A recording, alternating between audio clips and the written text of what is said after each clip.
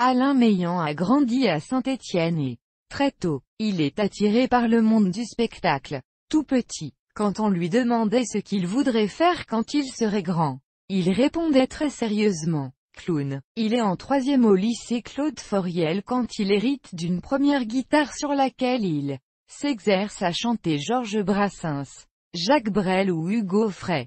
C'est alors qu'il découvre le disque 45 tours d'un chanteur de la rive gauche et entreprend d'interpréter ses compositions insolites. La nature, poubelle ou encore ma concubine sont de Jacques Cerisier, les premières chansons d'un répertoire qu'il offre à ses copains de lycée qui lui permettent de se faire remarquer dans les concours de chanteurs amateurs qui s'organisent dans la région. Le lycée propose un atelier théâtre au sein duquel sont montées des pièces classiques mais Alain Meillan préfère suivre un jeune élève de terminale qui veut créer une troupe davantage anticonformiste, Stéphane Douc. C'est avec lui qu'il fera, à 16 ans ses véritables débuts.